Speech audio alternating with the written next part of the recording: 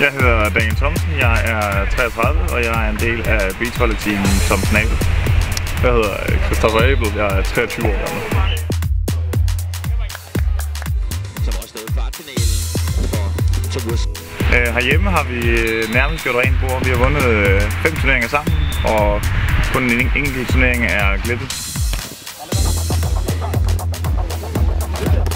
Man kan sige, at i år har vi fået, øh, fået chancen for, for at spille mere med internationalt. Har både fået en anden plads til, øh, til World Tour Stævn i Tyrkiet, Manaugat, og, øh, og senere her for nylig øh, til et tostjernet World Tour stævne i, øh, i Agadir i Marokko. Øh, fik vi en femteplads.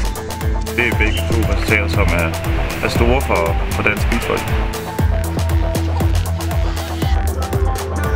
Sige, det er vores sponsorer, der gør det muligt for os økonomisk at komme, at komme ud og, og udfordre os selv øh, mod internationale hold og, og søge mod, mod toppen af, af verdenseliten.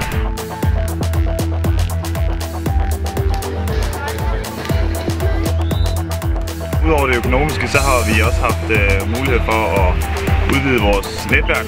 Øh, vi har flere gange været sammen med Rivals ansatte, som blandt andet har været ude og, og blevet trænet og coachet i at spille beachvolley. Så der har også været en social del øh, i forhold til samarbejdet med Rival.